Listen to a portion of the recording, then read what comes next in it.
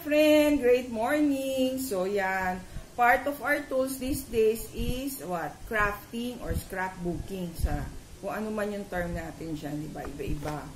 Yung mixed media arts, madami. Marami po tayong natututunan sa YouTube. So, let me share with you my Lazada haul this morning. So, yung Lazada po, I see the Lazada apps kung ano po yung pwede ko bilhin for my craft, for scrapbooking then my son orders it. Kasi wala na po tayo uh, credit cards or GCash. So, I order through my son din yan. So, ito po yung uh, haul natin from Lazada na sa kanya nakuha natin last Sunday when we saw each other sa SM North EDSA because we bought uh, ear, earphones for sa boss of my husband. So, ito po, yan. So, nadagdagan na naman ng ating haul for our.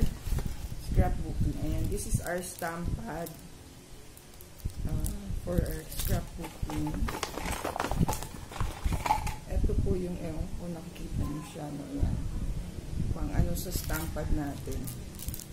Maliit yata, hindi yata kakasya lahat. Mas pinili, didiretso na natin sa inyo. So, that's our Lazada haul for today.